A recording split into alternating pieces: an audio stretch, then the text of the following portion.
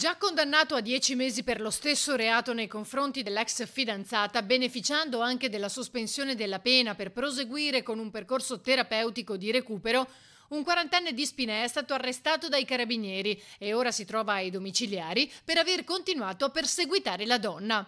Aveva ricominciato a inviarle messaggi ossessivi, presentandosi anche nella sua abitazione e infastidendo tutta la famiglia.